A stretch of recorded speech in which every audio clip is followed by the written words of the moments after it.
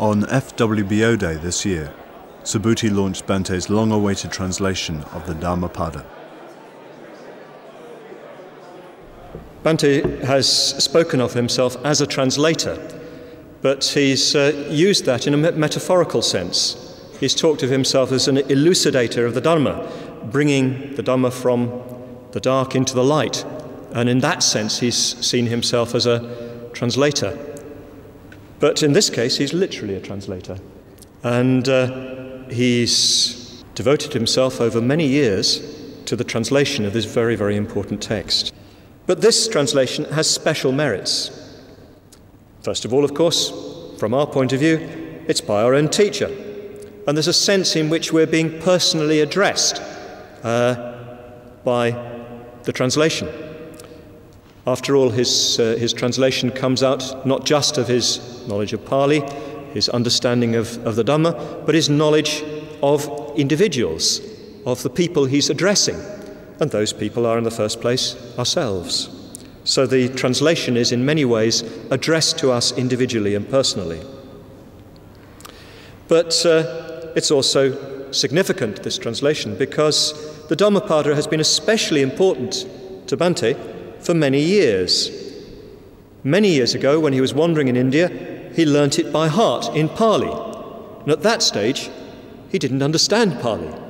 He had an English translation, but uh, he couldn't work out the literal meaning of the Pali. But he felt so strongly moved by the, uh, by the text that he learnt it by heart. And uh, he does know it very, very well indeed. He's studied and reflected on it again and again and again.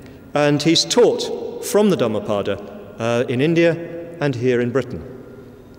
So he has great feeling and understanding. And uh, what we've got here is a translation not by a competent philologist, uh, although he is a competent philologist, not merely by a competent phil- philologist, but by somebody who really cares about the text and feels very strongly for it.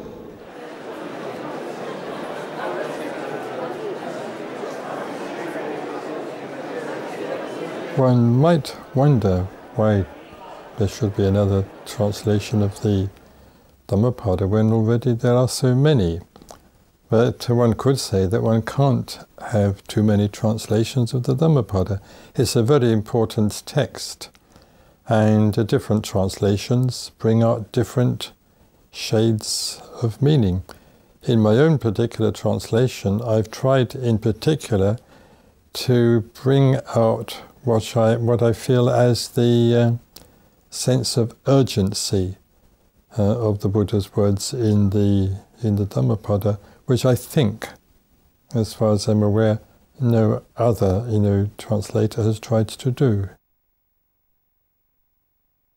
Experiences are preceded by mind, led by mind, and produced by mind.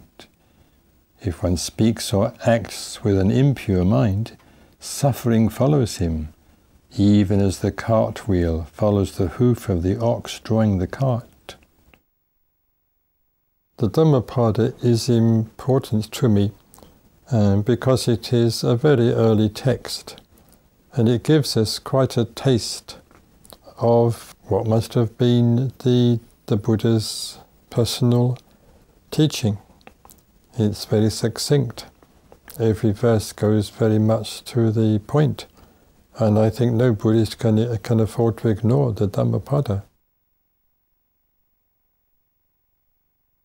Experiences are preceded by mind, led by mind, and produced by mind.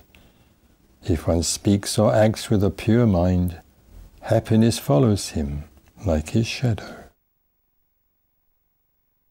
During my early years in England, before I went to India, as far as I remember, I did not come across the Dhammapada. Certainly, I have no recollection of reading it at that time. Um, as far as I remember, my first contact with the Dhammapada was uh, shortly after my arrival in Delhi in 1944, uh, while I was still in the army. I happened to go along to a Buddhist temple. I think it was the only Buddhist temple in Delhi. And inside, just inside the temple, I, I found a bookshop. And uh, there on the bookshop, or on the bookstall, it wasn't really a shop, there was a copy of the, the Dhammapada, a little pocket edition uh, translated with the Devanagari text by Dr. N.K. Bhagwat, whom years later I got to know. So I bought it, and for years and years I carried it around with me all over India until such time as I eventually settled in in Kalimpong in 1960, no, 1950. Working on the, the translation, especially the year before last, when I spent a whole month working on it, completing it uh, when I was at Guhyaloka, meant quite a great deal to me because uh, it meant for one whole month I was completely immersed, as it were, in the world of the Dhammapada. I wasn't doing anything else, and I wasn't thinking about anything else, or very little, very occasionally. And as I say, living in that, that world of the, the Dhammapada, you know, living in uh, the world of the Buddha's teaching as contained in the Dhammapada, I mean, concentrating on every single verse, going over the translations again and again. So that was quite an important uh, period for me. Not by hatred. Are hatreds ever pacified here in the world? They are pacified by love. This is the eternal law.